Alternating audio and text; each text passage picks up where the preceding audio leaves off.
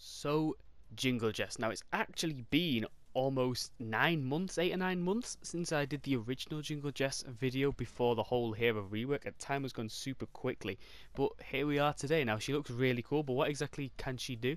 She has the perk Bear With Me Plus. It increases Teddy duration by 12 seconds. Now, this could be very good in those lower missions. You're not going to have as strong as a Teddy as Cyberclops or Trailblazer Quinn can have.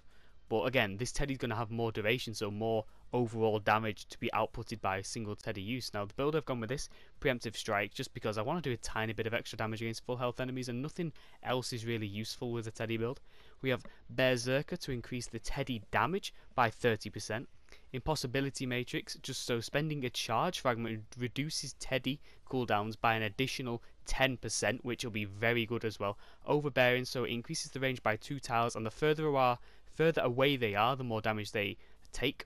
Fragment generation, just so every 39 limbs we get an extra charge fragment, and then bear stare, just so it fires more lasers from the eyes. Now, if I am correct here, Teddy has a 60 second cooldown. If we use a charge fragment, it takes that to 42 seconds, but using Impossibility Matrix as well should take that to 36 seconds. Now, if we use our Teddy, we should really, once our Teddy's been fully used up and we've had that fragment, we should have only 9 seconds left on the cooldown. I think if I've done my maths right, that is correct, but we're going to hop into a mission and just see how good Jingle Jess is.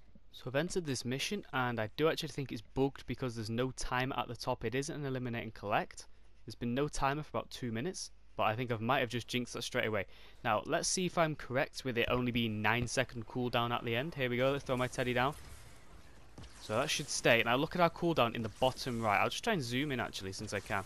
It's going to take a while. Look, got 29, 28, 27. So that should take, you know, decent amount of time. The Teddy's actually doing fairly decently, you know. I do like Cyberclops more just because as well as buffing Teddy, buffs your regular weapons. We should have 9 seconds left on Teddy here. I tell you what, this could actually be a very useful teddy build. It's holding up quite well. Yeah, we have 9 seconds in the mission without Teddy. I mean, you can also throw that up to get your fragments. I think this could be a very, very good Teddy build, you know? Really good Teddy build. I've just put that up. Look, we've got our Teddy back already. We'll throw it down again. It lasts up until 9 seconds remaining. We're going to be getting our charge fragments as well. I had to go and farm an additional charge fragment right at the start just to get the ball rolling really. Let's get another one. Gonna just keep getting those. I tell you what, this Teddy's a lot stronger than I thought it was going to be. I'm so used to having an energy Teddy with Cyberclops now. It's not even shooting, okay? But I'm so used to having an energy Teddy with Cyberclops now. I just kind of forgot how much damage you can actually do even with the wrong element. Again, we can wake these up. Teddy's almost back. It's only 9 seconds without Teddy. That is really cool. I wonder if you can actually reduce that, you know? Depending on which way you, you know, change your heroes around. Look at that. And I tell you what, if your Teddy runs out and there's still a horde, you've got Seismic Smash just to whack them out the way as well. And you've got Phase Shift to get back out of the way. So, that's Jingle Jester's ability so far. I want to see how well this actually works on an encampment. Hopefully encampments spawn on eliminating collects. I'm not too sure if they do. But if they do, we'll get an encampment. So this is kind of strange. We've kind of got a dwarf and I never even realised these existed. I just thought that was a bug then, but it actually says small encampment and large encampment. I have no idea when that was added. That's kind of weird. Well, let's try it. Let's see if one teddy can actually take out two encampments. A large and a small one. Here we go. Just break through these. Oh, they'll all break themselves, won't they? Can one teddy do it? That is the biggest question ever. Right, small encampment is gone. Here's the large encampment. Got around 15 seconds-ish left on Teddy. He's, I tell you what, he's getting through the blaster pretty quickly. There we go, one Teddy, and we've still got five, four, three, I don't know. We had about four or five seconds to spare as well, though. That was really, really good. I am liking this build already. It, I don't want to call it an AFK Teddy build, but or Teddy Hero, I should say. But I mean, you can kind of just, you know, throw a Teddy down, and then just kind of go. I'm not going to say AFK because I don't want people going AFK, but at least if you are going to use it as an AFK Teddy build, at least you're actually doing something with the Teddy rather than not using it at all. And yeah, we're not getting too much damage off on the Smasher there, but there's where you got Seismic Smash. There we go. Seismic Smash. How good is that? We have an absolute massive horde here. Just got to get a bit of that. Being 100% honest here, I think I might make this my lower level um, build because if I do anything in Twine like power level 88 and below, well this is an 88 mission, I would normally put a Cyberclops build on and just use Teddy. I wouldn't even shoot. But I'd probably, I, I'm actually thinking I'll use this build in just those missions where everything's too easy, my weapons are too over. Like I'm not going to use 130s on like 88 enemies or whatever. Especially in those like you know Stonewood or Plankerton V-Buck missions I like to run with subs as well. I, I yeah, I'm really considering using this build over everything else just because it's, it's Teddy's damage. Teddy lasts forever. Not really forever, but it just lasts a very long time and there's next to no cooldown. Why did these husks not get brought over? Come over here, husks. Just lasts an incredibly long time. We've still got another, you know, 11 seconds of Teddy left. See if we can do this without moving. Then we'll have 9 seconds without Teddy. Oh, he's going to go through the side. 9 seconds without Teddy. Will a Husk come and hit me in those 9 seconds? Don't think so. Let's try and get him over here. Come on, come back over here, Husks. Come to me. They're not even coming.